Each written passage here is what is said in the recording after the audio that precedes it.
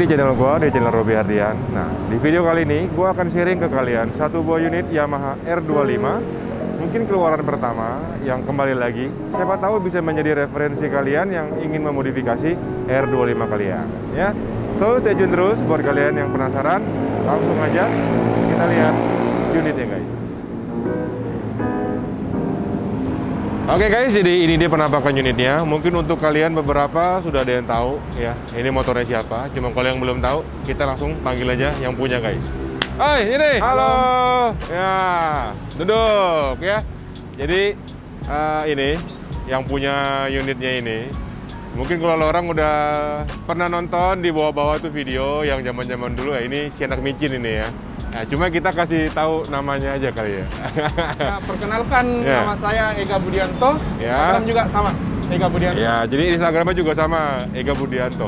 Kok sekarang jadi canggung gitu? Oh, biasa dong. Aneh, Sudah oh. sudah lama tidak bikin konten-konten yang Oke, okay. ya jadi uh, kali ini guys kita akan ngobrolin nih uh, unit ini dari punyanya Ega ya, yang gue panggil anak micin dulu.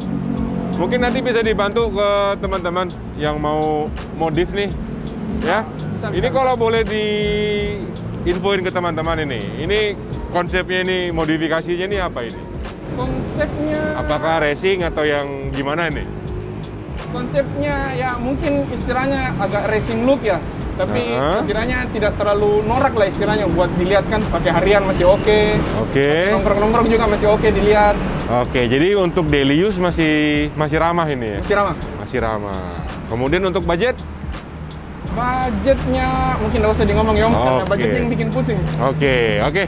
jadi kalau yang penasaran langsung aja kita minta tolong sama Pro Ega ini untuk kasih lihat uh, detail apa sih yang udah diganti dengan unit motornya. Oke, langsung aja guys. Ya, langsung aja kita mulai aja mungkin untuk bagian yang agak menarik ya bagi semua bikers yaitu adalah cockpit view guys ya. Langsung aja kita lihat ini. Apa aja yang udah lo ganti nih? Buat cockpit di sini ada U-Tune dari Rapid Bike. Mm -hmm. Terus triple clamp dari WR3. Mm -hmm. Ada ada juga immobilizer buat keamanan motor. Orinya nggak ada? Ori enggak dong. Ori oh. ini belum ada. Ternyata uh, orinya nggak ada. Terus ini Ohlins apa? uh, uh, dia spring kit dari Ohlins. Termasuk preload juga di sini ya? ya? Langsung dengan include dengan preload. Oke, okay, include ya. Tapi tabung semua standar? Tabung semua standar. Nah. Hanya bagian spring di dalam yang diganti Oke. Okay. Mirip kayak yang lain juga, ternyata menipu lawan juga. Tabungnya standar, isinya Ohlins guys. Ya. Master rem kita pakai dari OEM-nya R6 Nah ini ini menarik nih. Ini biasanya di saat orang suka Brembo, ini kenapa pakai R6? Nah ini hitungannya Om kan juga masih Brembo ya, walaupun OEM dari Yamaha. Ah. R6. Begitu ya? Dari kan, segi performa masih mumpuni lah buat pompa satu kaliper di bawah. Oke, jadi pertimbangan juga nih guys buat kalian yang suka mungkin banyak yang suka karena modelnya ya ya mungkin kalau kita istilahnya ambil kayak RCS 17 kan atau RCS 19 begitu kan dia mungkin uh, kesannya lebih wah uh. langsung nampak oh Brembo uh. mungkin bisa langsung ambil wah ini RCS ya yeah. tapi kan kalau segi fungsi sebenarnya ini pun cukup istilahnya buat yang mau menghemat budget buat ganti master rem mungkin ini bisa jadi opsional oke okay. jadi betul gak sih nanti kalau kamu orang bisa lihat ini kayak kalau orang lihat kayak kayak standar ya standar istilahnya oh master rem masih ori ya, ya ternyata OEM-nya dari R6. R6 guys ya jadi uh, ini ada memang memang Brembo guys, jadi cuman penampakannya aja seperti standar ya. ya. Oke, kemudian ada apa nih? Gas spontan? Ini gas spontan ini dari punya Sabre, dia satu set dengan switch engine-nya langsung. Oh, dengan dengan Sabre cocok ya? ya? Untuk ini apa nih? Ini Pro Guard dari aftermarket, nggak tahu juga merek apa. Oke, aftermarket ya. Terus untuk grip dia dari Ariet. Ariet. Yang sebelah sini Jalu ya? Dari kiri ini Jalu dari WR3. WR3. Kopling dari Ako 1. Ako 1. Uh, stang kita pakai. Eh tunggu tunggu tunggu tunggu. Ini Ako 1 kenapa nggak ambil yang Brembo? Uh, sudah mumpuni Om. Soalnya ini kan orinya sebenarnya koplingnya udah ringan. Oke. Okay. Cuma ya istilahnya untuk up sedikit look biar ini motor tidak terlalu terkesan. Jadi mirip kayak yang lalu di videonya Om Tovan juga. R15 juga katanya ringan. Ya ringan. Jangan-jangan itu mulai dari R series kayaknya ringan-ringan semua kayaknya. Nah, mungkin kalau R15, R25 itu sebenarnya ringan. Sudah oke okay lah ya. Cuma okay. ya paling menunjang looks. Jadi kalian juga kembali lagi untuk menekan budget ya. ya. Untuk menekan budget bisa dipertimbangin juga dengan Aqua Sato guys. Ya, kemudian kalau di sektor, sektor body tangki ini tangki masih ori, paling ini bagian tengah yang diganti. Oke. Okay. Lapis karbon. Dilapis ini? Ya, lapis karbon. Jadi, Jadi ini, ini PNP langsung masuk.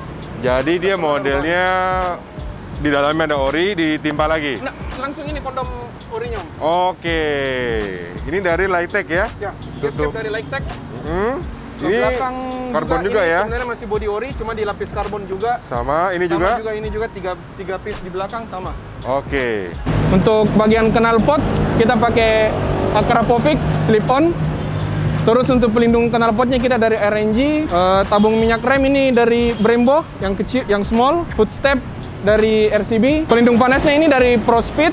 Terus untuk Hager, ini Hager aftermarket sama juga dilapis karbon terus untuk ini shock belakang ini sudah offline terus ke depan sedikit ini undercoil sudah diganti dia lapis karbon terus untuk frame slider kita pakai dari WR3 ini sen dari punya Honda terus ini winglet dari Puig. Untuk sisi pengereman belakang ini Brembo P2 uh, sudah pakai baut titanium dari WR3 bracket juga dari WR3 terus selang rem juga sudah Hell baut banjo juga dari WR3 terus kalau ke depan ke depan ini kita pakai Brembo M4 Cuma ini dia yang pitch 100, soalnya ini uh, apa bracket dari KTC. Terus sama bautnya juga sudah dari titanium WR3. Selang rem juga Hell, terus axle slider dari RNG, uh, piringan depan ini dari Ori R6. Untuk velg ini kita repaint warna silver. Terus untuk stop lamp belakang ini dari Motodynamic. Dia sudah include sen dengan langsung lampu stopnya. Jadi dia modelnya sudah menyatu. Rem juga sudah langsung ketemu di belakang. Jadi lebih simpel looknya. Kita tidak usah gunakan lagi sen-sen aftermarket begitu. Cukup dengan stop lamp 3 in 1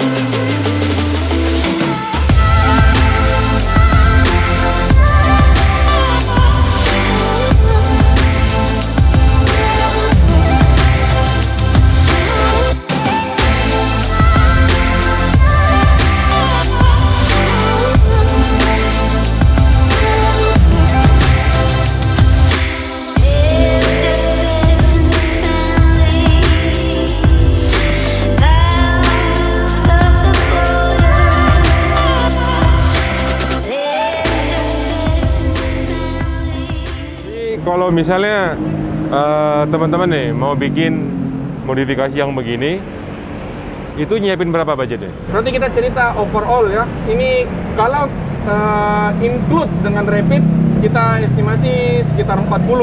Sekitar... Soalnya rapid kan ini istilahnya opsional ya dari tergantung rider.